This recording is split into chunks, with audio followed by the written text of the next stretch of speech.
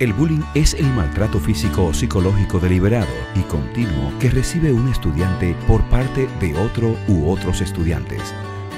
¿Sabías que también puede ser por redes sociales? Se llama cyberbullying y esta es la versión digital del mismo. Sucede en acoso por redes, burlas, memes, amenazas, publicaciones de información. Es importante no quedarte callado.